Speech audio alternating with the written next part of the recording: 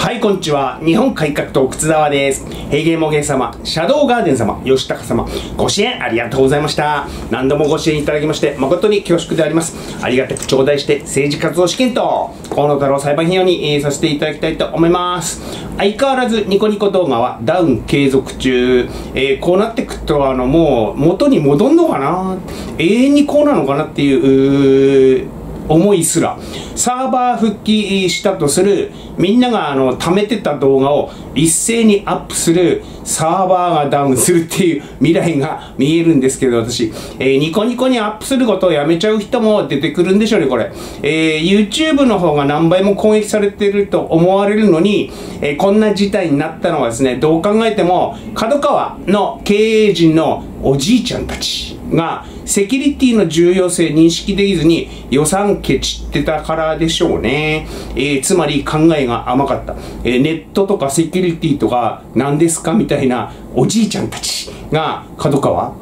あの経営陣だったっていう、えーガーナ人ジョンソン33歳。2015年に来日し食品会社に勤めていた2019年から透析治療を開始した、えーガーナには透析治療施設がほとんどないそうであります。えー生活保護くれと千葉市を訴えた、えー一審でダメです、えー否決された、否決じゃないや、敗訴した、えー6月11日、昨日ですか、二審開始、えー控訴したんだな、えー控訴して二審開始だそうであります。母国のガーナ大使館に保護を要請したが、まともな返事は来ていない。えーだって、えーガーナが悪いんじゃねえじゃあ、あーガーナ大使館が。世論です。自国民保護はガーナ大使館の仕事だろ。日本関係ない。ガーナ政府は自国民を見捨てるのか。裁判により本国の大使館行くべき。これを許したら世界中から病人が殺到する。もうずーっとたかる気満々。ガーナに透析施設がないのは日本の責任ではない。気の毒とは思うが、線引きは絶対必要。支援団体ってのが金出してやればいいじゃん。なぜ自国の大使館を訴えずに日本を訴えるんだ。えーそもそも外国人生活保護に法的根拠ないぞ。えーこれは最高裁で判決出てますね。外国人生活保護に何にもないよ、法的根拠は。えーこれが OK となれば、イナゴの大群が押し寄せてくる。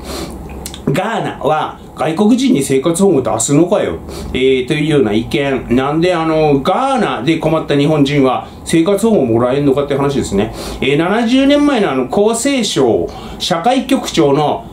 たった一本の通知でよ、えー例外的に始まった外国人生活保護の対象は永住者であります、えー旅行者や出稼ぎ労働者には認めていません。そんなことしたらですね、世界中からですね、生活不能者、または働けるが働きたくない怠け者が殺到しますよ。えー単なる観光旅行で来て、観光ビザで来て生活保護くれなんて言い出しますよ。えーこのダガーナ人も同様にですね、これ認めたら、日本で無料で治療目的で、えー世界中から透析に限らずよ、病人が殺到するでしょう。病気を目、あのー病気だからって理由で滞在者に生活保護認めて、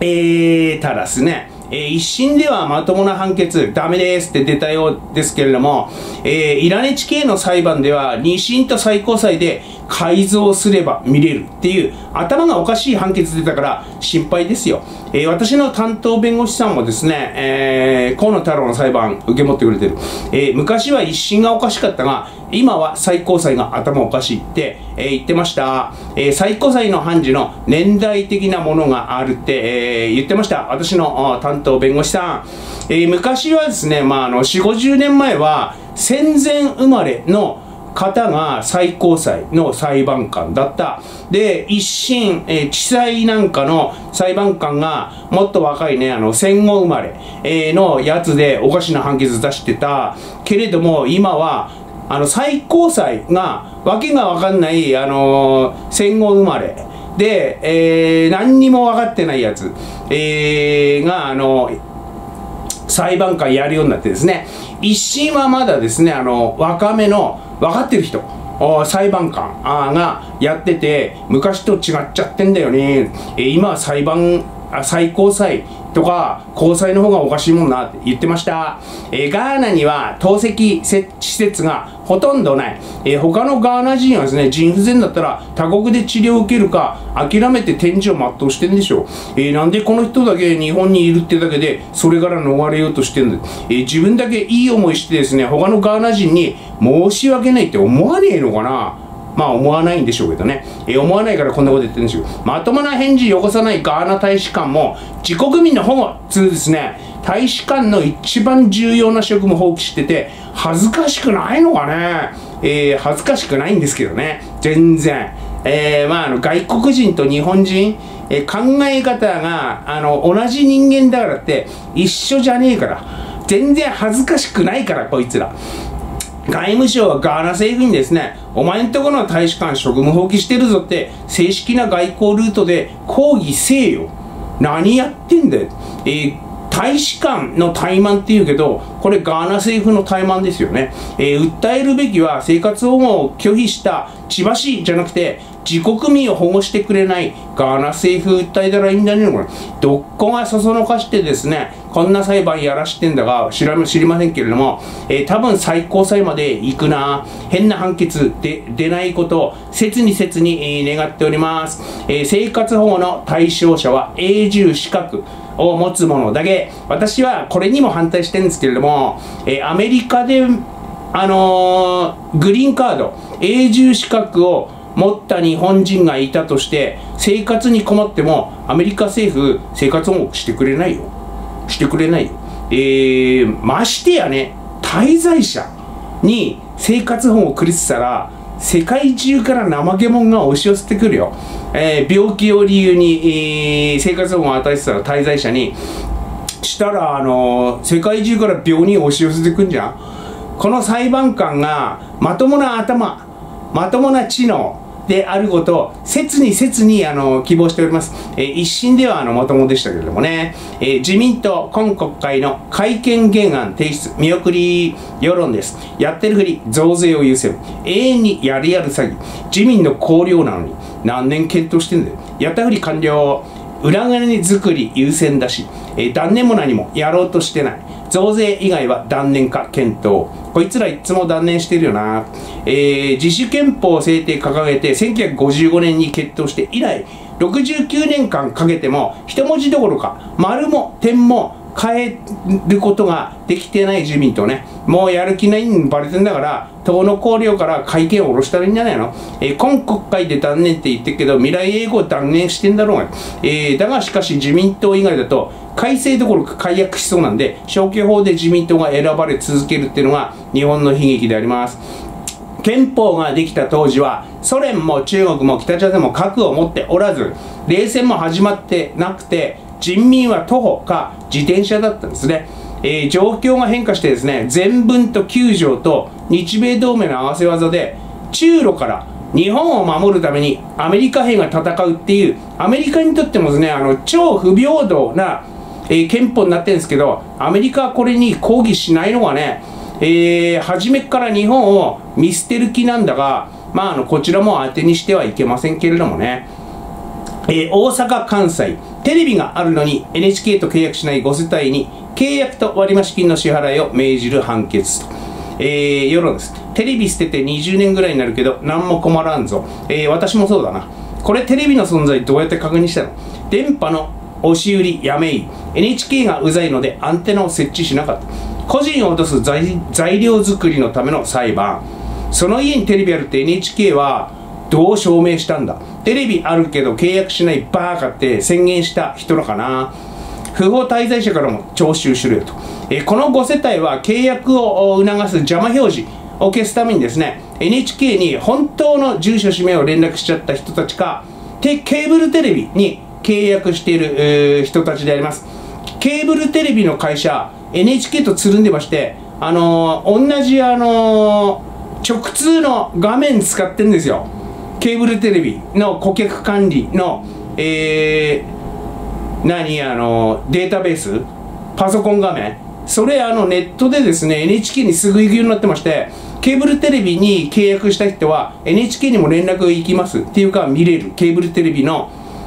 あの画面を NHK が、えー、だからあのテレビ持ってないっていう言い訳ができない、えー、それ以外の人は対象外であります。ケーブルテレビに契約してない人 NHK に連絡してない人は対象外であります。なので間違ってもですね邪魔表示消すために本当の住所氏名を NHK に連絡しないでください、えー、嘘の住所氏名を NHK に連絡しても邪魔表示は消えます、えー、表示してある番号を言えばね、えー、NHK は邪魔表示にある番号で表示を消すけどそのテレビがですねえー、世界中のどこにあるかまでは把握できてません。できません。技術的に。なのですでに契約している方の住所氏名と番号を NHK に伝えてもですね邪魔表示は消えます。えー、進めてるわけではありませんけど。こういう人らはこういう知識がなくて馬鹿正直にあの本当の住所氏名をですね NHK に教えてしまった人ら。もしくは、えー、豊島テレビとかいうケーブルテレビ j イコムとか。えー、ケーブルテレビに契約しちゃった人、実はこの裁判の被告世帯の関係者からご連絡ありまして、えー、法廷闘争持ちかけましたけれども、家庭の事情で断られちゃいました。現在、割増金被害者を探しております。ご本人もしくはお知り合いに被害者いらっしゃいましたら、私にご連絡ください。よろしくお願いいたします。日本政府、寿命を迎えた太陽光パネルのリサイクル義務化を検討開始2030年代に大量廃棄が予想されるためえこれ本格的に始まったのが東日本大震災でえ原発止まっちゃってでカンナオトとハゲバンクが組んでですね太陽光パネル押し2011年だから13年前ですね、えー、太陽光発電業者は外国人か外国企業か帰化した人ばっかって聞いてるんですけれどもそのそんなもん義務化してもですね放置して海外逃亡するんじゃないのえー、世論です。余計環境に悪くなるだけだがリサイクルなんてできんのかあんなゴミパネル。ゴミ作って金取るさんのリサイクル利権環境整いました。まだなかったのが驚き。リサイクル業者が岸田の親族なんだろう。森林切れ開いてメガソーラーって最高にバカ。もちろんメーカー負担だよな。リサイクルという名の増税、えー、販売しているメーカーに処理させろ、えー、輸入パネルに関税かけろ。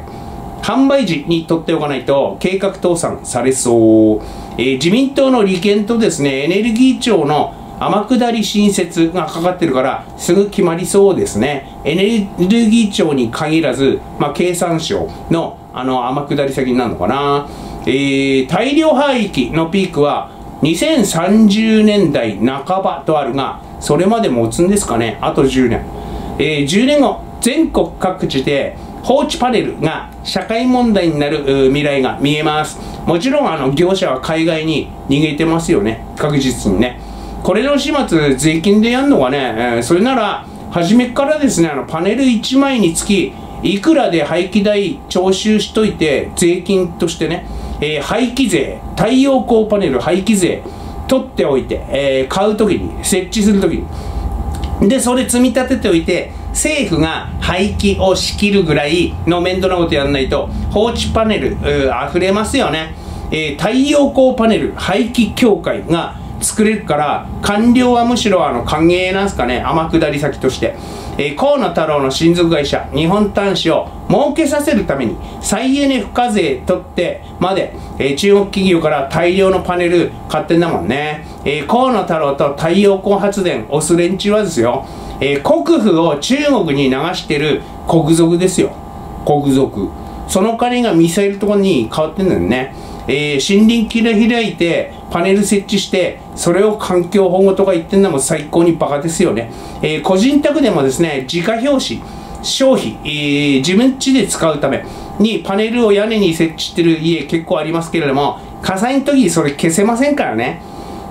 うちは絶対火事にならないって断言できる人はつけてもまあいいですけどね、えー、今日の単身です。大谷翔平選手が新居を購入。その周辺を放送し近所の住民にインタビューした日テレと富士があ大谷選手の怒りを買って出禁になりました、えー、過去の画像や映像も使用禁止だそうであります、えー、よっぽど怒らしたんだなえー、場所特定されるとですね本人や奥さんの誘拐や強盗の危険があり実際に有名人のそういう事件も頻発しているそうであります、えファンが殺到したら近所に迷惑かかるし身動き取れないしまあ当然ですよね。日テレと富士が特別ダメで他がいいっていうとそうではありません。TBS もテレ朝もですね現地にあの人員がいてカメラがあって可能ならやってたでしょこれ、えー、大慌ての日テレと富士が敵任を解いてもらおうと交渉中らしいんですけど